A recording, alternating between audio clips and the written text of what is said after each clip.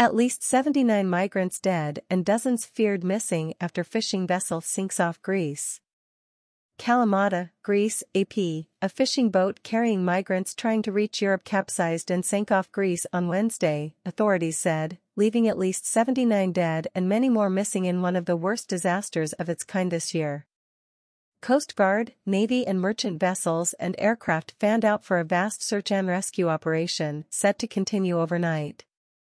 It was unclear how many passengers might still be in the water or trapped in the vessel, but some initial reports suggested hundreds of people may have been on board. Authorities said 104 people have been rescued so far after the boat sank overnight in international waters some 75 kilometers, 45 miles, southwest of Greece's southern Peloponnese peninsula. The spot is close to the deepest area of the Mediterranean Sea, and such depths could hamper any effort to locate a sunken metal vessel. 25 survivors were hospitalized with symptoms of hypothermia. At the southern port of Kalamata, around 70 exhausted survivors bedded down in sleeping bags and blankets provided by rescuers in a large warehouse, while outside paramedics set up tents for anyone who needed first aid. Katerina Tsata, head of a Red Cross volunteer group in Kalamata, said the migrants were also given psychological support.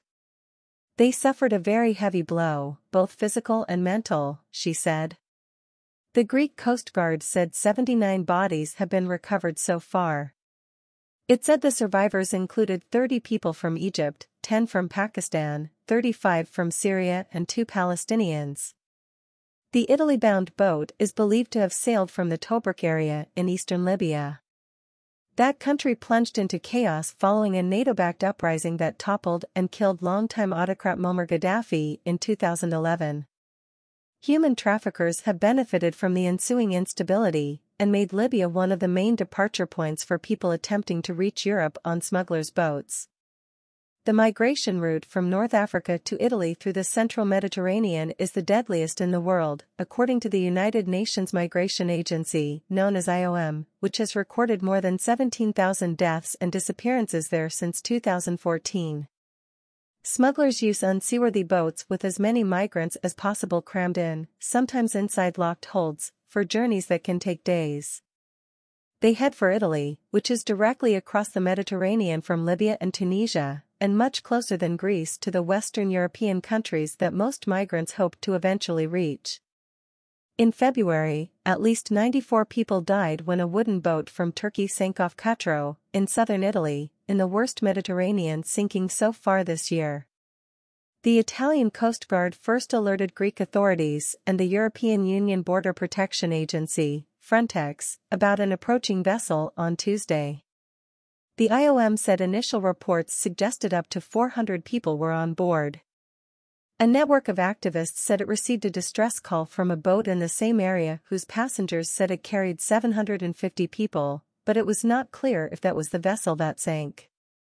After that first alert, Frontex aircraft and two merchant ships spotted the boat heading north at high speed, according to the Greek Coast Guard.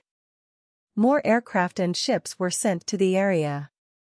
But repeated calls to the vessel offering help were declined, the Coast Guard said in a statement. In the afternoon a merchant vessel approached the ship and provided it with food and supplies, while the passengers refused any further assistance, it said. A second merchant ship that approached it later offered further supplies and assistance, which were turned down, it added. In the evening, a Coast Guard patrol boat reached the vessel and confirmed the presence of a large number of migrants on the deck, the statement said. But they refused any assistance and said they wanted to continue to Italy. The Coast Guard boat accompanied the migrant vessel, which the statement said capsized and sank early Wednesday, prompting a massive rescue operation by all the ships in the area. Alarm Phone, a network of activists that provides a hotline for migrants in trouble, meanwhile, said it was contacted by people on a boat in distress on Tuesday afternoon. That boat was in the same general area as the one that sank, but it was not clear if it was the same vessel. The organization notified Greek authorities and Frontex.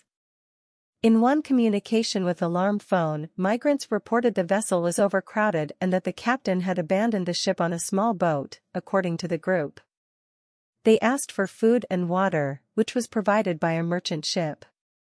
Over the last two years eastern Libya has seen a resurgence of smuggling operations involving large wooden boats or old fishing vessels that can carry hundreds of migrants, many of them from Egypt and Bangladesh. While these boats are sturdier than inflatable rubber boats or other small craft used in western Libya and Tunisia, overcrowding makes the journey extremely dangerous. The Mediterranean's deadliest shipwreck in living memory occurred on April 18, 2015, when an overcrowded fishing boat collided off Libya with a freighter trying to come to its rescue. Only 28 people survived. Forensic experts concluded in 2018 that there were originally 1,100 people on board. Six Greek Coast Guard vessels, a Navy frigate, a military transport plane, an Air Force helicopter, several other vessels and a drone from Frontex are currently taking part in the search for the boat that sank Wednesday. Greek President Katerina Sakellaropoulou visited the area where rescued migrants are being tended to, and political parties called off planned campaign events ahead of June 25 national elections. Separately Wednesday, a yacht with 81 migrants on board was towed to a port on the south coast of Greece's island of Crete after authorities received a distress call.